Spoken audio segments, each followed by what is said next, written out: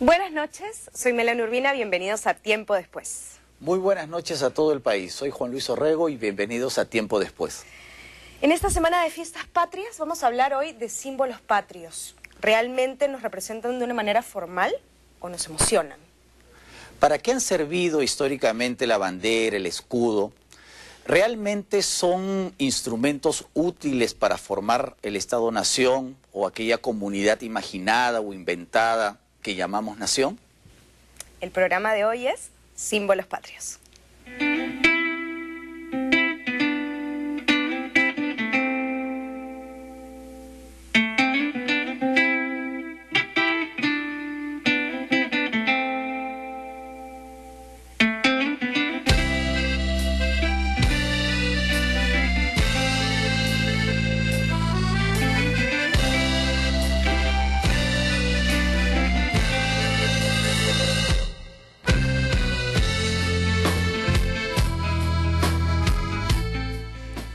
Tenemos a dos grandes invitados. Quiero darle la bienvenida a David Flores, que es curador de arte. Nuestro otro invitado es el historiador Eduardo Torres, quien acaba de publicar un libro, La voz de nuestra historia, y que trata justamente cómo se construye la nación, pero en este caso a partir de los discursos políticos y de los sermones en las iglesias. Bueno, empezando el tema, en algún momento tienen que haberse inventado o creado los símbolos. ¿Cómo, cómo aparecen los símbolos patrios? Pues bien, la gente necesita siempre identificarse con símbolos para que su vida sea ordenada, ¿no? Entonces, desde que el hombre y la mujer se juntaron en sociedad, tenían que encontrar referentes con los cuales identificarse para decir que eran parte de una misma tribu, de una misma familia, después de un mismo país, de una misma sociedad. Eh, cuando las sociedades se organizaron en monarquías, por ejemplo, que es la forma de gobierno pues, más antigua, la gente pues, necesitó identificarse con su rey. Entonces, en ese sentido, comienzan a surgir una serie de símbolos que se asocian a los reyes. Colores que se asocian a los reyes, banderas y escudos que se asocian a las monarquías, a los monarcas, y es así como los pueblos, en primer lugar, se identifican con su rey. Ahora, eso quiere decir que los peruanos, en este caso los que vivimos en este territorio, no conocimos símbolos recién con la independencia, porque durante los tres siglos del virreinato hubo una lealtad, ¿no? una identificación con el rey, por ejemplo, a pesar de que la gente nunca lo había visto físicamente al rey. ¿Era una identificación impuesta? No, era, bueno, todas, todas son impuestas, ¿no? Pero cómo la gente, cómo la monarquía española en este caso, ¿no? Eh, hacía para que la gente mantuviera la lealtad al rey. ¿Había símbolos aquí, por ejemplo, en Lima o en Arequipa o en el Cusco en la época virreinal? Pues sí, era una, era una cuestión en verdad de, de educación, más o menos como tú bien has mencionado, ¿no? O sea, en cierta manera la educación también se impone, ¿no? Entonces, eh, durante el virreinato, por ejemplo, eh, tenía que enseñársele a la gente quién mandaba, y quien mandaba era el rey. ¿Y cómo se enseñaba eso? A través de los símbolos, ¿no? Pero La- al ser impuestos, digamos, no funciona cuando realmente uno, uno se conmueve ante el símbolo, cuando te lo imponen, ¿no termina siendo al revés? Es que sabes cómo se conmovía la gente porque eh, la política estaba mezclada con la religión. Ah, Entonces, como Dios ha escogido al rey para gobernar, entonces religión y política son una misma cosa. Claro, y la religión siempre es más emocional, digamos. es más emocional porque es una cuestión de fe. Claro. Entonces, creer en el rey es una cuestión también... Una consecuencia de creer en Dios. Exactamente. No, literalmente así, exactamente así, ¿no? Entonces los símbolos, las coronas, los cetros, el escudo de Castilla, de los reyes españoles, siempre estaban juntos a los símbolos de la religión. Entonces, este, era la forma más sencilla que la gente tenía de conocer quiénes eran los que les gobernaban y cómo la sociedad se organizaba y era ordenada, ¿no? Una forma muy inteligente. La eva- evangelización en ese sentido ayudó a que las personas entendieran, entendieran mucho las cuestiones básicas de la política. Claro. Y los símbolos esenciales, porque cada edificio eh, la Lima virreinal tenía siempre los símbolos de Cristo y al lado los símbolos, los escudos de la monarquía. Ahora, David, tú que eres curador, ¿no? crítico de arte, ¿cómo se ve dentro de tu disciplina, de tu quehacer académico, digamos, el tema de los símbolos patrios?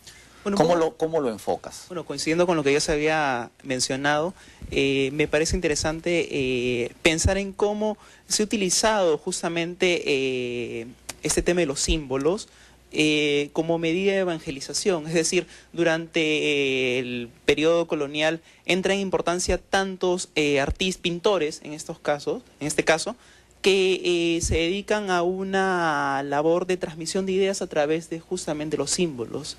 Eh, y esto es algo que se ha ido repitiendo a través de todo, lo, de todo ese tiempo hasta, hasta la actualidad, donde justamente los símbolos, o el caso específico ya de los símbolos patrios, eh, son esta fuente inagotable de reinterpretaciones y de hasta posicionar un punto, un punto de vista, ponerlo en evidencia incluso muchas veces un punto de vista crítico sobre la actual situación del país o sobre el contexto.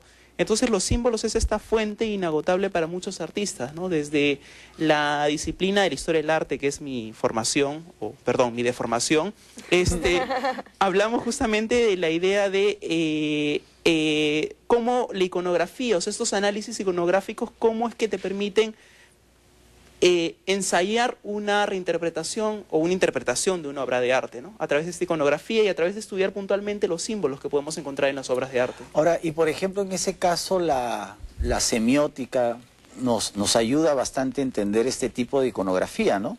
Por supuesto, por supuesto. De, realmente la... Eh, eh, en carreras como historia del arte o como estética son primordiales eh, los cursos de semiótica, de semiología, porque te permiten justamente eh, analizar o ensayar una interpretación de, las obras de arte. Eh, pasando, por ejemplo, en hay, colegas especializados en arte colonial o en arte precolombino, que hasta un cruce de manos, la, la forma en que aparezcan unos cortinajes, los tipos de libros que aparecen en una obra de arte virreinal, eh, las, disciplinas que aparecen en los libros, en las bibliotecas de fondo, comienzan a decir mucho de, obviamente, la profesión del retratado, eh, la importancia que tuvo en su momento, eh, se puede resaltar si ha sido, por ejemplo, rector de alguna universidad, independientemente de la cartela que muchas veces aparece en la propia obra de arte, es a través de los símbolos que se puede seguir o interpretar esta obra. Ahora tú sabes, Melania, que existe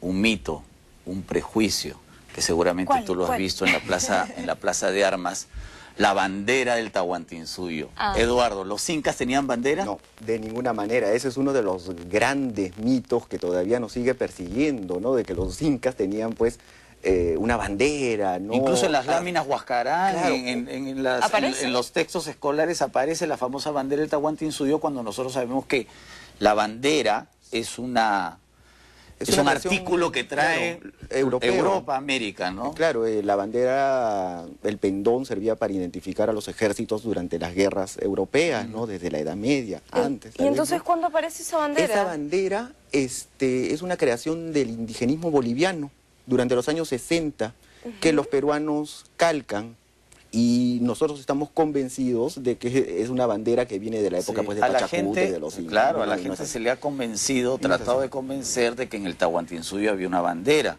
Y hasta un escudo. Y hasta un escudo, ¿no? Claro, ¿no? Lo, que pasa es que se ha tratado de aplicar modelos europeos eh, concepciones europeas a la historia de los incas, lo cual nosotros no, no debemos incurrir en esa, en esa inexactitud, ¿no? Pero si finalmente funciona ahora como un símbolo, más allá que no haya sido la época en la que dicen que ha sido, ¿no es válido? Es válido, porque es cuestionable, pero es válido. Porque de repente para un historiador es, no, pues, claro, no, si, uno, pues, si uno quiere ser estricto, puro, o sea, esa bandera no la conoció Atahualpa, por ejemplo. Claro, claro. Pero, por ejemplo, los artistas estarían totalmente de acuerdo contigo, porque justamente un símbolo, creo que la riqueza de un símbolo podría estar no en quedarse estático, sino en ser recreado, retroalimentado, para que pueda pues ganar adeptos o para que pueda servir como un modo de expresión. En este caso puede ser expresión de reivindicaciones, de, decirle a nosotros, a los otros, miren, hay gente que se siente marginada o que se siente olvidada y esa gente tiene una identidad y quiere llamar la atención y quiere llevar propuestas políticas y los símbolos también sirven sirven para eso, sin lugar a dudas, ¿no? Y avanzando un poquito más en el tiempo, los símbolos que conocemos ahora, el escudo, la bandera, el himno, ¿cuándo aparecen? Eso ¿Quién los, quién los crea? Eh, pues a ver, si empezamos con, con qué, con la bandera, lo primero, ¿no? La, la bandera, para empezar los españoles no, no tenían una bandera. O sea, acá en el Perú, España no, no tenía una bandera eh, que podría decir esta es la bandera de los españoles, ¿no? Eh, recién ya a fines del siglo XVIII comienza a aparecer una especie de pendón que podría representar a España. Llega San Martín y San Martín necesita que los peruanos eh, se identifiquen con un símbolo. Y el primer símbolo que se le ocurre pues es una bandera. El peruano debe tener una bandera. Y e inmediatamente diseña, eh, llama a gente para que lo ayude a diseñar este, esta primera bandera y lo hace. Y es la bandera... ¿Y eso del sueño? El sueño de San Por Martín? ejemplo, claro, los colores, ¿no? Los colores de dónde vienen. Muchas teorías hay al respecto, ¿no? ¿Por qué el rojo y el blanco? Eh, eh, está la tesis del sueño, ¿no? San Martín se quedó dormido, pues, este, bajo una palmera En en, Paracas. Paracas. y pasan estos pájaros que no me acuerdo cómo Las se llaman. parihuanas. Las parihuanas. Las parihuanas bajan desde Ayacucho, desde la laguna de Parinacocha, justamente viene por, por ese nombre que tienen pues un color medio rojizo con blanco, ¿no? Pero antes de hablar de la bandera, Sí. que será el tema del, del siguiente bloque, eh, en, le- en la época de la independencia hay una carrera contra el tiempo para crear símbolos, porque además como se están formando los países, ¿no? Tienen que haber elementos diferenciadores, ¿no? Porque son estados independientes y quieren ser, quieren autorreconocerse y reconocerse ante los demás o diferenciarse ante los demás. Entonces hay una carrera por hacer escudos, banderas, en fin, ¿no? Tenemos que irnos a un corte. Me suena que San Martín era como un publicista. más, o más o menos, menos. más o menos, ¿no? Bueno, regresamos con, con este tema tan interesante, símbolos patrios. No se muevan.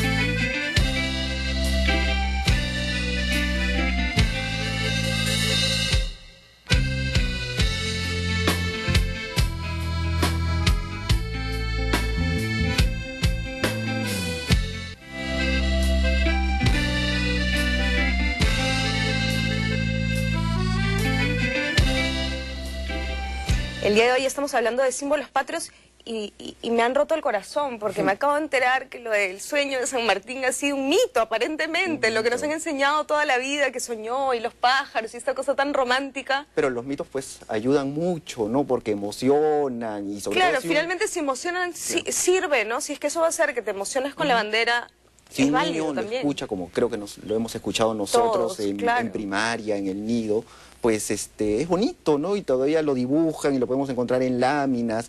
Eh, pero la historia pues tiene otra, otro, otro, otro cariz, ¿no? En ese sentido. Eh, ¿Por qué el rojo y por qué el blanco? Hay varias teorías, tampoco se sabe. La versión clásica que nos contaron, que también es muy lírica, es que es por la sangre de nuestros héroes y por la paz o por este, la nieve de los Andes, ¿no? Pero tampoco, tampoco no hay una fuente que nos diga que es así, ¿no? Hay otra, hay otra versión que es que el rojo era el color que predominaba en las Mm, tropas chilenas así es. que vienen con San Martín y el blanco es el color que predominaba en los soldados argentinos que vienen con San. Martín. Entonces él quiso hacer algo como una fusión aquí en el Perú por la contribución de las tropas. Pero ¿no? digamos que esa versión como que no nos gusta tanto, ¿no? Esa versión no nos gusta tanto, pero creo que no te va a gustar la que te, la que te tengo ahora, ¿no? Porque es un poco más, más este, realista, en el sentido que parece que San Martín escogió el rojo y el blanco para que los peruanos recuerden los, coron, los colores de la monarquía española. Porque el rojo y el blanco son los colores de la Cruz de Borgoña, que es un símbolo de los reyes españoles, ¿no? Y como Eh, él quería una monarquía para el Perú, monarquía. ¿no? Quería seguir asociando esos colores, es. porque todos nosotros sabemos que San Martín, ¿no? Eh, quería una monarquía para el Perú. Ahora, David, eh, desde el punto de vista del arte o de la, la simbología, ¿no? O de los rituales, eh, la bandera, pues, es un símbolo casi sacrosanto, pues, ¿no? Y, y en los últimos años hemos visto algunas escenas vinculadas a la- al lavado de la bandera, que significa una cuestión de limpieza, de dignidad. ¿Cómo funciona eso? ¿Tú lo has investigado? Sí, bueno, justamente eh, el colectivo Sociedad Civil fue el grupo que el año 2000, eh, más o menos en, entre mayo y junio, se dedicó a hacer estos lavados de la bandera. Es, es decir, sacar de la bandera toda esa podredumbre, toda esa idea de caos que existía en el Perú de ese momento, ¿no? Era interesante porque se lavó la bandera justamente con jabón Bolívar y San Martín, ¿no? Entonces un poco como que la idea, esta idea cíclica vuelve a rondarnos O sea que los fundadores de la patria de- laven de nuevo el orgullo nacional. Y en la pileta de la Plaza de Armas, que es esta pileta barroca, que es bueno prácticamente lo único eh, de época que existe en la Plaza de Armas, el, único elemento de época, y era fue, si bien es cierto, fue una acción que vino, que se propuso desde el mundo de las artes visuales, fue una dinámica social que involucró muchas personas, transeúntes, eh, eh, eh, hubo mucha gente de artes escénicas que participó en los lavados de banderas. Entonces, esto fue este elemento eh, donde la gente en la Plaza de Armas, a pocos metros del Palacio de Gobierno, podía expresar esa idea de eh, renovar el país a través de justamente el elemento, a través del símbolo patrio que nos reúne en Ahora, esta, pero en esta mesa. acláranos una cuestión. Eso de lavar la bandera, ¿de dónde vino? ¿De dónde se inspiraron? ¿En otros países también ocurrieron esos, esos actos? ¿O Ya se lo inventaron ellos? Ya hubo experiencias incluso de algunos miembros del propio colectivo eh, Sociedad Civil con trabajo con la bandera. Eh, lo, interesante, lo interesante fue que ese, eh, de esa forma, fue, de esa forma con el lavado de banderas y con tenderlos, hay la- las fotos que uno puede conseguir o encontrar sobre los lavados de, los lavados de bandera, donde ve las banderas justamente secándose en tendederos en la Plaza de Armas. De esa forma fue justamente propuesta por el colectivo Sociedad Civil que pertenecieron muchos eh, colegas y amigos como Gustavo Bunting, Susana Torres, Emilio Santisteban, eh, Sandro Venturo, Natalie Guiñiz, gente que estuvo, entre otros muchos, que estuvieron vinculados a este proceso, esta idea de eh, resistencia simbólica a la situación que por la que atravesaba el Perú en ese momento. Además, la bandera de alguna manera es como que el símbolo, el primero. No, si le preguntamos a los peruanos probablemente cuál es el, el, el primer Cronológicamente es lo, lo primero. No, cronológicamente. nos- pero emocionalmente también, me imagino, ¿no? emocionalmente, Porque además la bandera te la pones en el Además, polo, te la es. pones, ¿no? O sea, la usas, de alguna manera la, la- la adaptas y la puedes usar y llevar El en símbolo ti. más popular, creo, ¿ah? sin lugar a dudas. ¿no? Lo puedes encontrar en el estadio, cuando juega la selección. Lo puedes encontrar cuando la gente está realmente eufórica y feliz saliendo a la calle con Yo quería la comentar un, bandera. un- un Sí. temita que se me acaba de venir a la mente porque ayer regresaba en mi carro y escuchaba todo un debate en la radio de la Mm. gente que decía, tiene que ser obligatorio poner la bandera, tiene que Mm. ser opcional poner la bandera y mucha gente decía, no, es una obligación porque todos los peruanos, otros... Yo personalmente siento que, que si no nace de un verdadero, este, ¿no? una Sentimiento, cosa, un claro. sentimiento Claro, eso- verdadero es... Eso debe ser algo espontáneo en el buen sentido del término, ¿no? Sí, lamentablemente claro. es obligatorio. Y es obligatorio y, hay multas. Y hay claro que no se ¿no? aplican, Ajá. porque ya quedaríamos en una, en, en una exageración, pero teóricamente hay multas, ¿no? Pero ahora, regresando al tema de la bandera, acuérdate que San Martín, el 28 de julio de 1821, declaró la independencia con una bandera, que fue la bandera cruzada, Cruzada. este, No en diagonal. ahora, no es la actual. La, la Tenía un símbolo también en el no, centro. tenía otro, otro, otro, Otro escudo. escudo. Otro Otro escudo. escudo, ¿no? ¿Ya? Y la bandera que vemos ahora, la que usamos ahora, más o menos fue establecida durante el gobierno de Torretagle en 1823. 22, 23, sí, claro. ¿no? Ahora pasemos al escudo, ¿no? ¿Qué, ve- escudo. qué vemos en el escudo? Siento que estoy en clase, ¿no? No, Estos es- símbolos clásicos que uno se paporretea en el colegio, pero que en es. realidad, ¿qué significan, no? El árbol de la quina, no de la quinoa, De la me pues. me dice Y todos caen, ¿ah? Todos caen en la quina, en la quina. este, la vicuña, La vicuña. la cornocopia. Que La algunos piensan cornucopia. que es una llama Es una también, llama. ¿no? O sea, se- Sí. se prestan algunas Claro, confusiones, ¿no? claro. Pero es una vicuña. Claro. ¿Por qué, Eduardo, el árbol de la quina? Mm. ¿Por qué el ¿Qué Perú? es el árbol de la quina? Para empezar. A ¿Qué ver. da, la- qué la- qué da el árbol de la quina? No, ¿Qué es, fruto eh, da? lo, lo que mencionan es, es impresionante porque el primer ejercicio que yo pongo en mis clases universitarias, cuando paso lista, es, eh, le pregunto, ¿qué hay en el escudo nacional? Y las respuestas son impresionante. No, no conocemos nuestro, nuestro símbolo, ¿no? nuestro escudo. Entonces todos dicen el árbol de la quinoa, ¿no? y gran, gran error, ¿no? Ese es el árbol de la quina. ¿Qué es la quina? La quina es, es un árbol cuya corteza sirve para curar las fiebres maláricas y es muy efectivo y se conocía en el Perú desde el siglo XVII. Eh, fue la gran revolución, por así decirlo, científica, ese descubrimiento acá eh, en el país, ¿no? Y coincidentemente aparece en el escudo, no solamente para representar al reino vegetal, ¿no? Sino que eh, ese, ese árbol había servido para curar a los soldados durante las guerras de independencia. Claro, con razón. Entonces, había, parece Su que nivel una- de sí, importancia. parece que una Digamos, si hay que modernizar el escudo, probablemente ahora utilizaríamos otra. Yo creo que pondrían árbol. comida, El de la o, O- una, o, el de la pa- una papa. Una papa, no sé, ¿no? una planta, digamos que... Claro, claro, ¿por qué? Porque uno ya no se siente identificado tanto con el escudo, ¿no? Sí, pero Eh, claro, ahora que me lo explicas, entiendo claro. que era, en ese momento fue una revolución, ese árbol era No, la salvación. Además, además, como bien decía Eduardo, durante las guerras de independencia, sobre todo los soldados del ejército de San Martín sufrieron una serie de fiebres aquí Mm. en la costa, en la costa central. Entonces el único remedio era la quina, o sea, el, la corteza tiene un- un- una sustancia que llamamos quinina, Quinina. Que es muy efectiva contra las fiebres en tiempos de epidemia. Prácticamente es el único recurso con, con el que se cuenta, ¿no? ¿no? Entonces, así nos explicamos la existencia del árbol de la quina. Ahora, David, abajo tenemos el oro. ¿Qué cosa significa esto?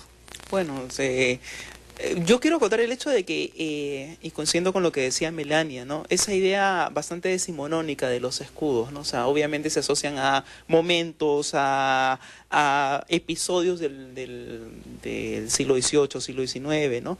Pero eh, pensar en esta idea de abundancia que existe en la parte baja del, del escudo, eh, me hace pensar también en muchos artistas como Patricia Bueno, Llosa, que justamente al hablar de la situación en la que se encontraba el Perú en los noventas o actualmente, suprimen el elemento, esta es la cornucopia, cornucopia y dejan a un básicamente un escudo patrio Mm. eh, vacío de este elemento Deshuesado. Claro. deshuesado, afeitado, como diría Gustavo Buntings, eh, significa esta idea de, bueno, esta, cons- a pesar de la parafernalia que existe alrededor de los elementos, eh, de los símbolos patrios, para los casos prácticos hablamos de una carencia tras carencia en esta idea ya republicana, esta idea criolla de- del Perú. Ahora, eh, también alguien podría leerlo, el Perú país minero, el Perú mendigo sentado sobre un banco de oro, o sea, tantas lecturas se puede hacer de la presencia, aunque, claro, a nosotros en el colegio nos enseñaron que era el reino animal, el, reino vegetal, No, y el así reino es. mineral. En, en el decreto de creación del escudo se menciona eso. Mm. Las riquezas del Perú. Claro, porque los escudos reinos. anteriores evocaban el sol. Exacto. Porque Así San es. Martín dijo he venido a la- al, al país del sol, por evocar a los incas. Y luego también estaban los Andes. Los Andes, o sea, la, la geografía, ¿no? El sol, los Andes El y el mar. Y el El mar. El ¿no? mar tranquilo. ¿No? El mar visto? tranquilo. Pero hay una, hay un hilo conductor, pues, ¿no? Geografía, recursos naturales. en Además, fin, ¿no? esa idea que siempre se tuvo del Perú ah, durante mucho tiempo, que el Perú era la, la tierra de la riqueza, del oro, de la plata, de la abundancia. En Europa existía el lema, esto vale un Perú. ¿Y por qué? Porque el Perú era asociado pues a, muchas riquezas, a la tierra de oportunidades. Una época pues muy lejana, ¿no? Porque- Claro, bueno, tenemos que irnos a un corte y cuando regresemos vamos a hablar de otro símbolo patrio importantísimo, el himno nacional.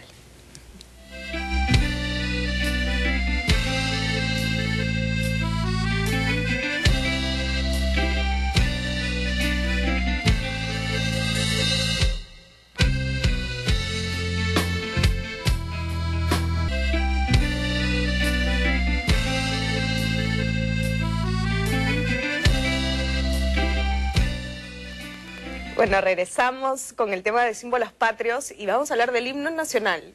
¿Quién Ah. lo compone? Bueno, a ver, Eduardo, tú que eres el ilustrado.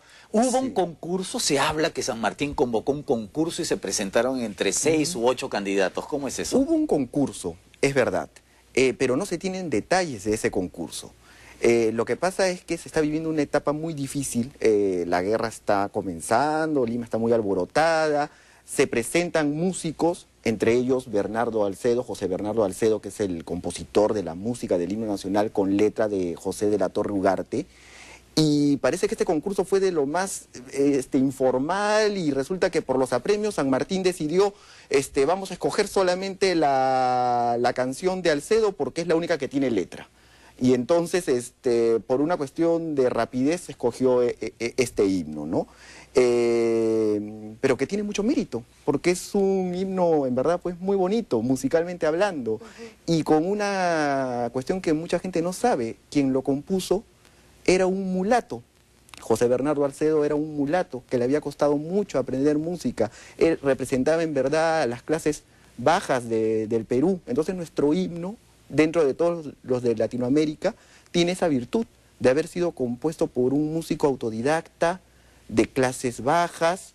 Es un himno en realidad muy populoso. O sea, digamos que no fue compuesto por alguien que perteneciera pues a la academia de la música, digamos, ¿no? ¿no? era un académico, sino que hay ese mérito, esa, digamos, esa espontaneidad del himno peruano. Ahora, y Rosa Merino, que está enterrada aquí en el cementerio presbítero maestro, ¿es verdad que cantó por primera vez el himno frente a San Martín o es otro mito? No, no, no, sí lo cantó y resulta que lo cantó como debería cantarse el himno y por eso que nos sale a nosotros tan mal cuando lo cantamos. Es decir, el coro lo canta toda la gente, el Somos Libres, ¿no? Pero las estrofas las tiene que cantar un profesional porque es muy complicado de cantar. A ustedes creo que les ha pasado o nos pasa, ¿no? Cantamos el himno y no podemos llegar a las notas altas y nos sale pues un himno llano totalmente pues este atrofiado y hasta monótono, ¿no? Eh, pero la idea original es que nosotros, el pueblo, cantemos el Somos Libres y que una persona, un solista, cante las estrofas. Hay, toda una polémica mm. por la letra del himno, que no, ahora en vez de cantar la primera estrofa, cantemos la mm. estrofa no sé cuántos. ¿Realmente importa la letra? Yo siento que que la gente de pronto no es muy consciente de lo que está cantando. Por ejemplo, me ponía a pensar, una cosa es el himno que cantas el lunes en el colegio. Así es. Y otra cosa es el himno que cantas cuando juega Perú. Cierto. ¿no? O sea, la emoción, más que en, la letra y en el contenido, está en la situación, ¿no? En la situación, ciertamente. Eh, y aparte que también si te pones a analizar, tú les preguntas qué significa tu himno, que es un himno con un lenguaje muy complicado, no, tampoco la gente lo, puede explicar. ¿ah? Eh, yo creo que tiene que ver más bien con la emoción que tú dices, ¿no? Cantarlo a toda voz, sobre todo, ¿sabes qué? El, coro, ¿no? El Somos Libres, que en verdad es magnífico, ¿no? Porque no muchos himnos de América Latina tienen ese inicio tan potente, tan vibrante de decir somos libres, ¿no? E, eso es muy emocionante. Hay un énfasis muy importante por el tema de la libertad, que era el discurso justamente coyuntural ¿no? de San Martín. Esa David, de creación de Estado. Claro. David, seguimos derribando mitos. ¿no? Todos los países creen que su himno es el mejor o el segundo mejor o el tercero mejor del mundo. ¿Cómo, cómo es este asunto? Bueno, eh, creo que todos los que hemos tenido oportunidad de estar en algún sitio fuera del Perú hemos encontrado a alguien que nos ha dicho nuestro himno en ese país es el más bello del mundo o es el segundo más bello después de la marsellesa.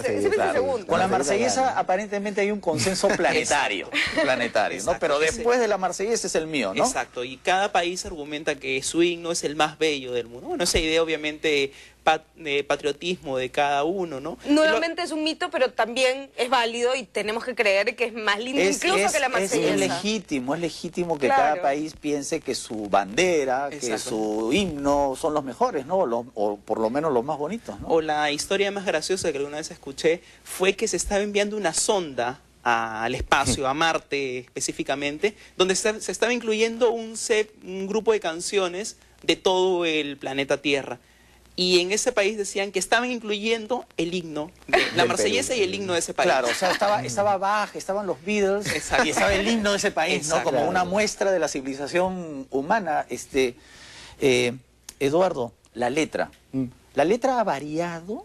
Se ha intentado variarla porque creo que a principios del siglo XX incluso hubo un proyecto por cambiar toda la letra del himno. Lo que sí es verdad es que el largo tiempo no, no es del, del autor de la letra, Ya. de José Latorre Ugarte. El largo tiempo El largo tiempo se metió en 1850, nadie sabe cómo, pero desde 1850 apareció como una expresión popular. La gente quería cantar esa, Claro, pues, esa- ese esa largo tiempo. Ese así es el que cantamos. Ese Sí, es el que sí. cantamos así. Pero originalmente no había largo tiempo. No. Y por eso es que querían cambiar, que Por cantemos eso- ahora otra estrofa. La última, ¿no? La última. Eh, pero si nosotros lo vemos como tú lo quieres ver, pues, y con lo cual yo también estoy de acuerdo, la gente quiere cantar el largo tiempo. Eh, o sea, se metió en algún momento de la historia esa estrofa y está desde 1850. Imagínate, la cantó Miguel Grau durante la guerra con Chile, este, durante todos los grandes problemas que hemos tenido, ese largo tiempo ha estado ahí, ¿no? Y como que la gente se identifica con ese largo tiempo, el peruano oprimido, porque también hay que reconocerlo, no estamos pues muy bien tampoco, ¿no? Y esa combinación que hay entre el largo tiempo y después el optimismo del Somos Libres, me parece un efecto dramático pues maravilloso, ¿no? Bonito. Porque ya después las otras estrofas son más complicadas, anodinas, no tienen una potencia. En cambio, el largo tiempo se puede cantar con sentimiento, con... Es un este, aguijón al nacionalismo. Es un aguijón al nacionalismo porque no todo debe ser bello y triunfante pues en esta vida, ¿no? Además, hay que agradecer que tenemos letra, porque hay países como España que tienen el gran problema. ¿no? Que tienen himno, pero solo música. Así y es. cuando los, los deportistas españoles, por ejemplo, se presentan en un estadio, en un- no, no, claro no pueden, no, partido, no cantan. ¿verdad? No ca- y se sienten frustrados porque mientras los demás cantan, ellos no pueden cantar. Porque tu única manera de participar en el himno Claro. es cantando. Es cantando, O sea, no escuchándolo. escuchándolo eres un espectador nomás, ¿no? Claro.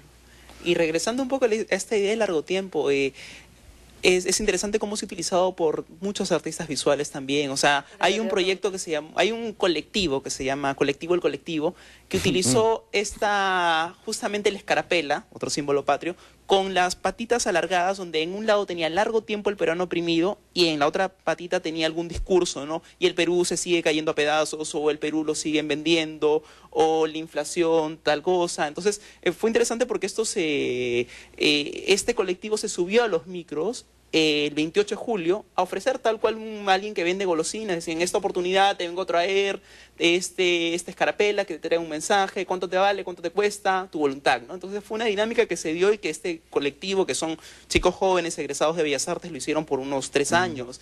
Pero el himno y específicamente esta parte largo tiempo es interesante todo lo que ha generado, o sea, a nivel de representación nacional, nacional o ya desde lo particular, desde lo individual, todo lo que ha implicado. Y musicalmente Claro. también ha habido, yo he escuchado alguna versión del himno nacional, pero hecha así rockera, Sí, pesada. claro. Eso es vale. Es válido. También vale, digamos. Debería- Hay gente que me imagino se va a ofender, se ofendería. Por supuesto. Eh, yo creo que debería ser válido.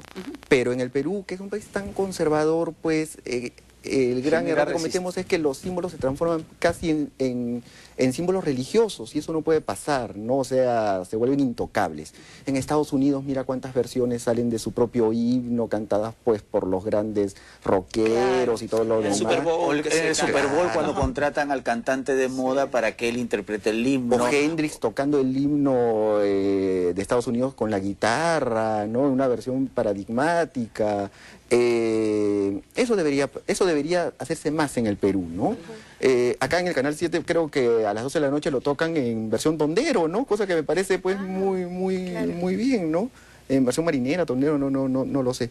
Eh, también hay momentos emocionantes, ¿no? Por ejemplo, no sé si han ido ustedes al cine un 28 de julio, antes de comenzar la función. Cuando yo estaba chico. Tocan el himno nacional. Sí, yo ¿No me acuerdo cuando estaba chico, Sí, sí, en, los, en emocionantísimo. los cines, en 28 de julio y el 29 también se, co- se tocaba el himno y la gente se paraba antes Así de ver es, la así película. es.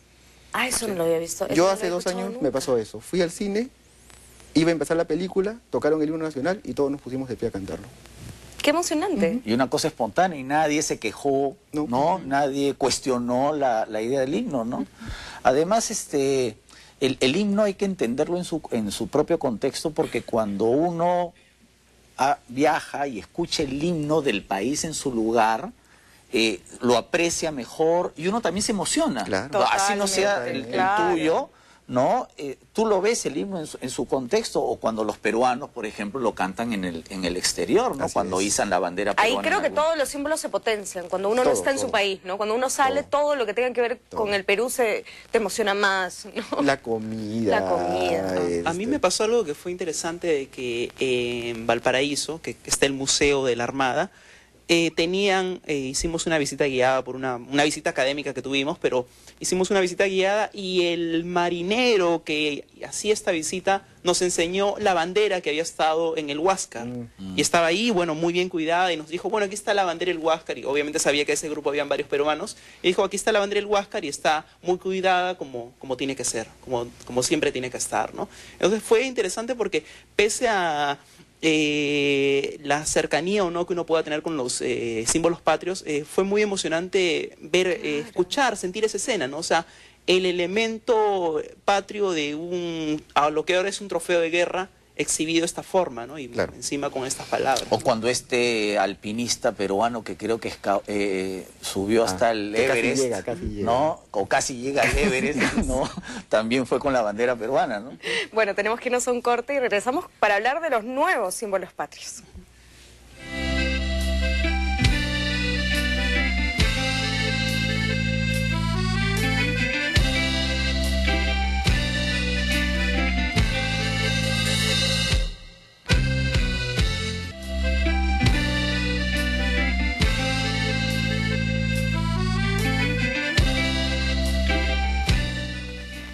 En esta semana de fiestas patrias estamos hablando de símbolos patrios y yo quería hablar de los nuevos símbolos patrios. Yo siento que hay, hay símbolos que nos representan y nos emocionan tanto o incluso más Mm, que de pronto es. un escudo, la comida, La comida. Machu Picchu, no sé, hay muchos símbolos. La marca Perú. Marca Perú. Y mira que marca Perú está justamente retomando símbolos prehispánicos, ¿no? Es decir, este, la Ah, P que, que recoge este, los... eh, Evoca la iconografía nazca. Exacto. Nazca. Caral, este, de muchas culturas prehispánicas, ¿no? Eh, y cómo los peruanos ya ven eso como un símbolo que es marca también a la vez, ¿no? Ya está de manera es. comercial. Al Perú hay que venderlo y venderlo de una buena forma, ¿no? Entonces, ese yo creo que es un nuevo símbolo. Esos son los nuevos símbolos. Pero, ¿no? las, pero desde inicios de la República hubo otros símbolos, ¿no? Por ejemplo, las monedas. Las monedas. Primero las monedas, porque ahí estaba el sol, Claro. ¿no?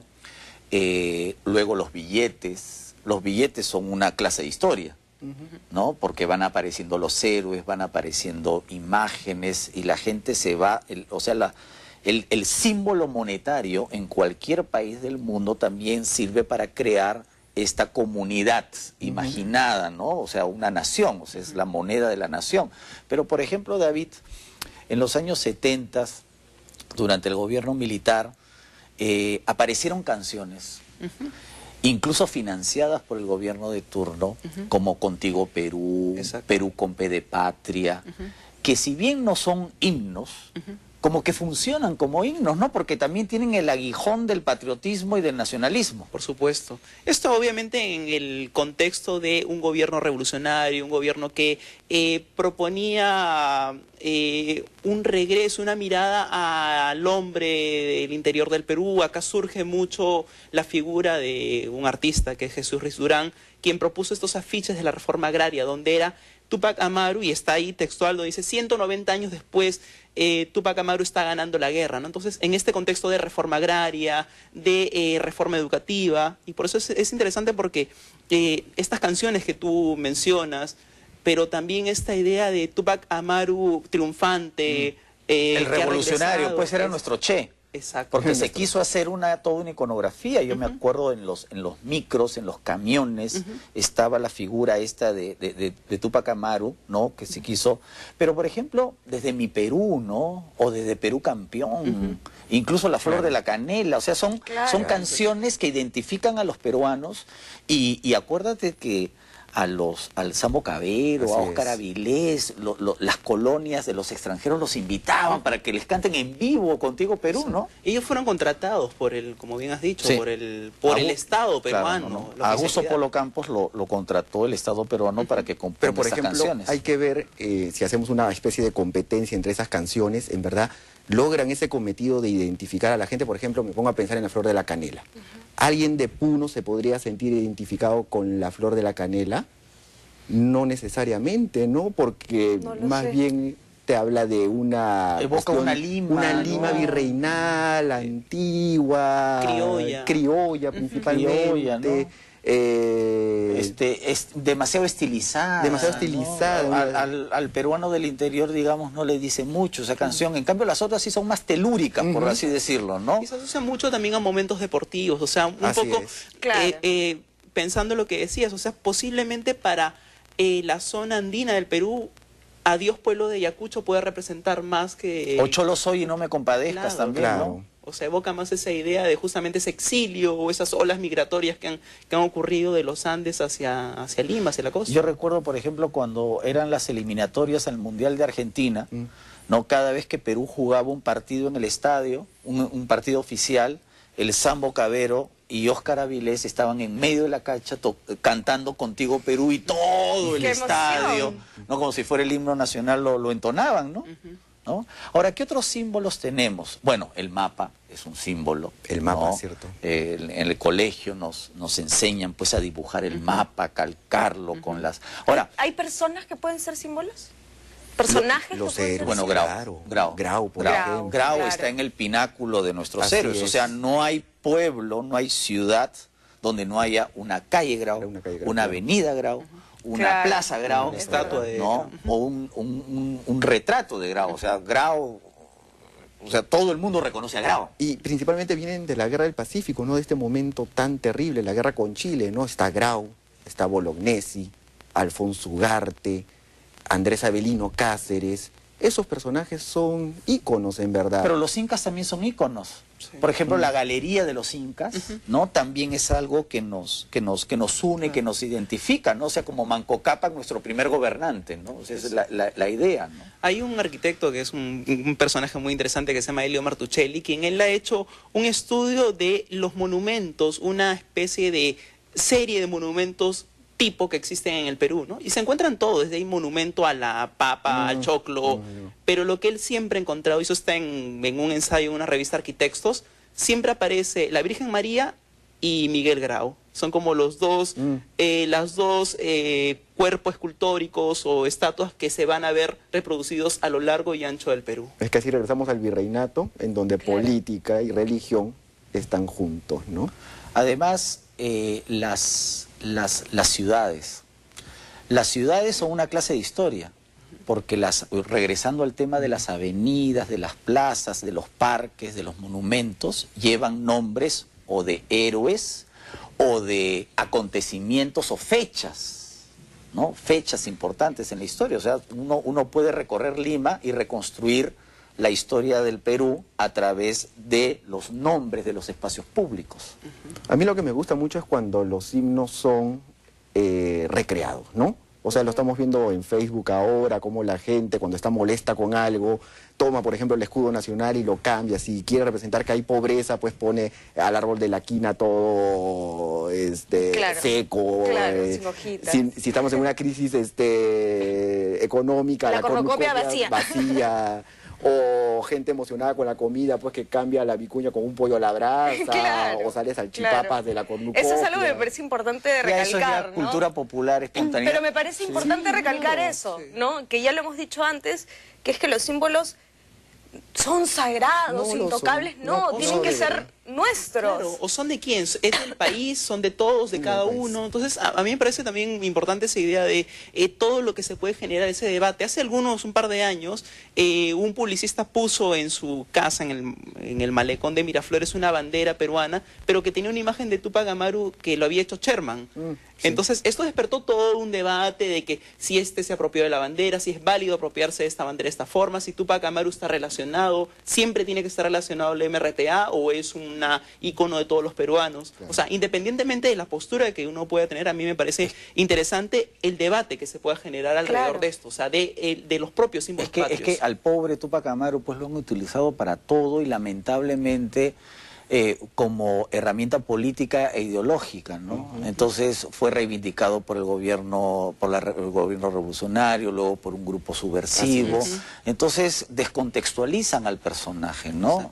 O por ejemplo se llegan a situaciones, no sé si recordarán, creo que hace tres años que una vedette, este, La, foto, claro, la famosa foto del caballo. en ¿no? el caballo, ¿no? Y sentada en la senta- bandera, ¿no? ¿Y qué opinan ustedes de ese tema? Este, mira, yo- ¿Vale o, o- o nunca tanto? Yo creo que es una expresión artística. Ajá. O sea, yo sí no tengo ningún problema. Porque, por ejemplo, lo comparo con otros países donde Cecilia Boloco ha salido, pues, este, vestida con la bandera de Chile. Claro, y ahí, Como si fuera la madre entra- patria, ¿no? ahí- además ahí entran otros temas, de que hasta qué punto pues el cuerpo de una mujer es ofensivo, ¿no? Claro. O sea, la, la desnudez es ofensiva una y, cuestión todo también de la presencia de una vedette, o sea, también es una cuestión de... ¿Quién se lo clase, pone, no? Claro, ¿Quién- prejuicio. Obviamente prejuicio de clase, ¿no? El arte debe provocar.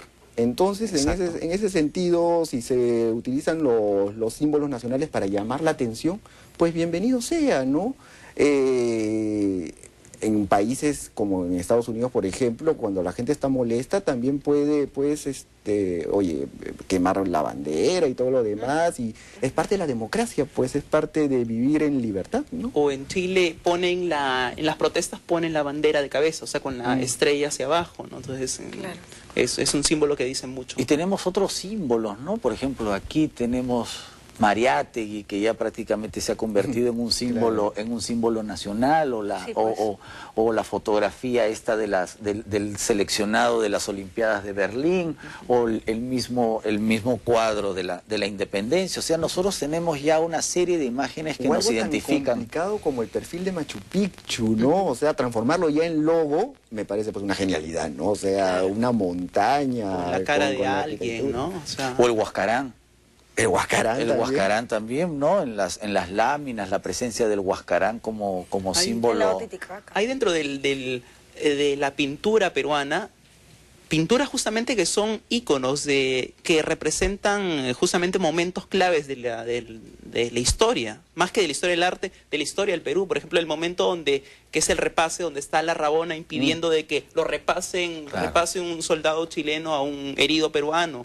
Es una imagen difundida no solamente por las láminas Huascarán, sino por todo el inconsciente colectivo, o la O- juramentación de la independencia. O el desbarrancamiento de Alfonso Ugarte en el. Morro, ya son... ese desbarrancamiento idílico, ¿no? Que bueno, que eh, eh, queda todavía eh, saber qué tanto fue de esta manera. O ¿no? por ejemplo, cuando en algunos canales de televisión, yo creo que me parece legítimo, no lo critico, ¿no? O sea, eh, pasan pues los goles de la selección peruana en momentos eufóricos, ¿no? en momentos históricos, ¿no? O sea, ya prácticamente eh, los goles de Cubillas contra Escocia se han convertido pues en El otro símbolo, símbolo, nacional, ¿no? Claro. Claro, claro. A Paolo Guerrero celebrando.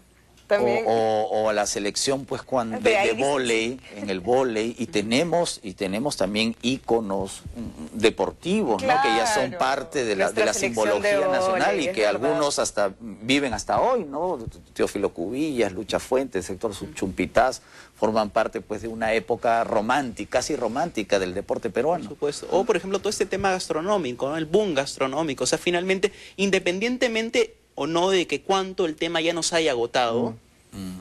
eh, es cierto de que la comida peruana se ha vuelto un elemento eh, de cohesión de muchos sectores del Perú. es, ¿no? así es. O sea, a través de una persona, a través de la figura de una persona o a través de una feria, eh, ha hecho de que finalmente eh, el, el peruano eh, eh, tenga, tenga ese elemento como algo de, para presumir o para Y exponerlo. felizmente los tiempos han cambiado porque yo recuerdo que en su época causó mucha polémica y, por qué no decirlo, indignación aquí en el Perú, cuando estos famosos cantantes Paul Simon y Garfunkel grabaron el, el Cóndor Pasa en, una, en una versión tipo folk, ¿no? De los, de, de los 70, ¿no? O sea, cómo se ha malogrado, cómo se ha profanado. Porque eh, hay canciones que Claro. tienen su momento, ¿no? Entonces el Cóndor Pasa durante una época fue casi como Contigo Perú, ¿no? Claro. Sí, pero ni nadie recuerda que el Cóndor pasa sale de una ópera.